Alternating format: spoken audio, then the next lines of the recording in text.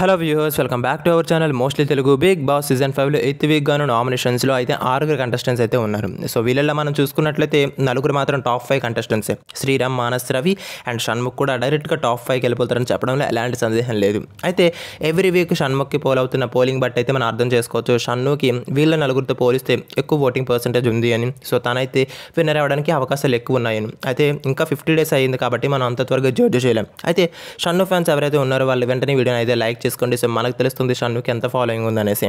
And ఇక ముందుకు వెళ్ళిపోతే మీకు ఎవరైనా ఇంకెవరైనా ఫేవరెట్ కంటెస్టెంట్స్ ఉంటే వాళ్ళ కింద అనేది కామెంట్ చేయండి. అండ్ ఇక చూసుకున్నట్లయితే షణ్ముఖ్ వచ్చేసి ట్వంటీ సిక్స్ పర్సెంట్తో మనకు ఫస్ట్ పొజిషన్లో ఉండగా శ్రీరామ్ వచ్చేసి నైన్టీన్ పర్సెంట్తో సెకండ్ పొజిషన్లో ఉన్నాడు. And Manas with eighteen percent third పొజిషన్లోను next Siri వచ్చేసి దాని ఆట బాగా ఇంప్రూవ్ అయింది. లాస్ట్ వీక్ ఆయన బాగా గ్రిల్లింగ్ అండ్ ఈ వీక్ డైరెక్ట్గా కెప్టెన్సీ కండక్టర్ అవ్వడంతో ఆవిడకి నైట్ బాగా ఓటింగ్ అయితే పోలైంది. అండ్ ఫోర్త్ పొజిషన్లో ఉన్నారు ఇప్పుడు Siri with fourteen percent and next చూసుకుంటే రవి విత్ థర్టీన్ పర్సెంట్తో మనకు ఫిఫ్త్ పొజిషన్లో ఉండగా లోబో అందరికన్నా తక్కువ టెన్ పర్సెంట్తో సిక్స్త్ పొజిషన్కి పరిమితం అయ్యాడు సో ఇలాగని కొనసాగితే లోబో ఎలిమినేట్ అవ్వడానికి మీకు దాదాపు ఛాన్సెస్ అయితే ఉన్నాయి.